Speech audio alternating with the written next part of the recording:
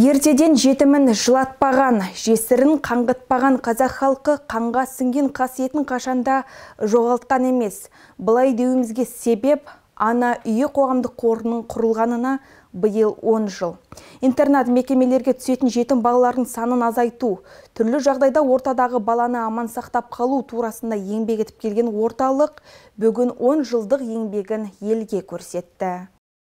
Аталмыш орталықтың мақсаты өміріндегі қиын жағдайға тап болған жүкті келіншектер мен кішкентай балалары бар әйелдерге көмек көрсету.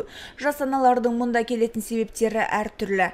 Мәселен, қыздар арасындағы жүктілік, отбасылық мәселелер, күйеуінің отбасынан кетуі, жақын туыстарының болмауы. Қайырымдылық мекемесі көмекке зәру аналарға рухани психологиялық, әлеуметтік, құқықтық көмек көрсетеді. 2021 жылдан бастап ана үйі дағдарыс орталығынан ресурстық орталық ретінде яғни қиын жағдайда қалған отбасы балаларын интернаттық мекемелерден өз отбасына қайтару жолында қызмет атқарып келеді. Нәтижесінде қор көмегімен өткен жылы қаламыздағы 18 бала өз отбасымен қауышты. Балаларға арналған мекемелерден балаларды кәсіби асырып алушы отбасыларға орналастыруға жәрдемдесу жұмыстары да нәтиже көрсетті. Қордың барлық күш жігері балаларға арналған мекемелердің жабылуына ықпал етуде. Келешекте осы бастаманы әрі қарай жалғастыруға бірлесіп қызмет атқарамыз деген сенімдемін.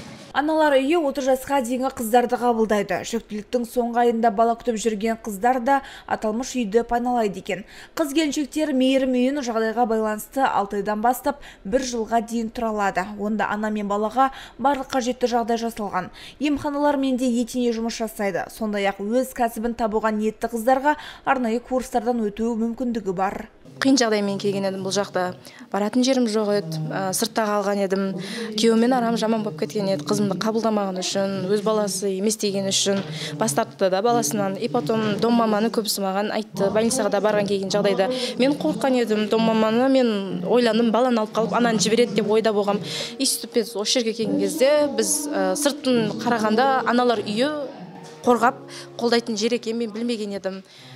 И потом мен бұл жерге келген кезде қызым өте кішкентай еді. Ауырып келген едік. Үстімізде мүлдем киім жоқ еді. Осы жерден келіп біз киіндік дәрі дәрмегін алып берді больницаға тіркеді. Жағдайымыздың бәрін жасады көмектесті. Бала үшін ана үшін сыртта қалмау үшін біздің әйел болғанымыз үшін бізді қабылдап бізді алған үшін мың алғысымды айтамын. Өзіміздің психолог апайларға рахметін айтамын бізге больницаға қараған апайларға бәріне рахмет айтамын. Біз қыздармен бір бірімізге кеңес береміз бір бірімізге пікір береміз мен қолдау береміз. Ә, сен бүйт сен былай істе күйеуімен тату, татуласқандар болды. Ә, маған пікір берген болды мен көбісі қалдар апайдан пікір сұрайтын едім. Өйткені мен келген кезде менен кіші қыздар бар еді. Бұл жерде ең үлкен мен болып тұрған едім. Ана үйіне он үш жастан отыз жас аралығындағы баласынан бас тартпақ ойы бар. Немесе қиын жағдайға душар болған жас аналар келеді. Ана үйі қоғамдық қоры психологиялық медициналық әлеуметтік құқықтық көмектер көрсетеді. Тұру мерзімі алты ай бірақ енді алты ай тұру деген міндетті емес осы алты ай мерзімнің ішінде біз аналарды болашақ өмірге бейімдеп өздерінің аяқтарымен нық тұруға жаңағыдай қысқаша курстардан өткізіп мамандық алуға балаларын балабақшаға орналастырып өздерін жұмысқа орналастыруға көмек көрсетеміз. Өздерінің жақын туыстарымен ата аналарымен табыстыруға баласының әкесімен табыстыруға осы бағытта жұмыс атқарамыз. Осы он жылдың ішінде жалпы еліміз бойынша ана үй қоғамдық қоры 6156 анаға көмек көрсетті. Яғни осыншама бала балалар үйіне түскен жоқ өзінің аналарымен бірге өмір сүріп жатыр. Ал оңтүстік өңірі бойынша осы он жылдың ішінде 554 бала 54 жас ана 579 бала көмек алды. Осы ана үй қоғамдық қорынан. Дәл қазір жеті ана бізде тұрып жатыр. Ең бірінші кезекте баласының әкесімен табыстыру жолдарын қарастырамыз.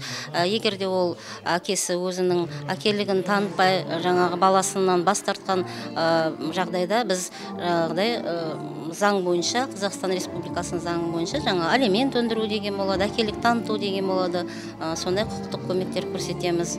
Сонымен қатар жәрдемақы әлеуметтік жәрдемақы жаңа рәсімдеуге осы көмектерді көрсетеміз. Орталық қызметкерлерінің қажырлы жұмысының арқасында ана үйі көптеген демеуші кәсіпкер азаматтардың әлеуметтік қоғамдық жобасымен тығыз серіктестік орнатқан. Сондай-ақ оларға мұнда уақытша тұруға, денсаулығын қалпына келтіруге жағдай жасалған. Бүгінде 500-ден аса үміт отын өшірмеген анаға көмек көрсетілді. Салтанат Рүстембек, Жансерік Сұлтанбек, Айға қоғамдық телеарнасы.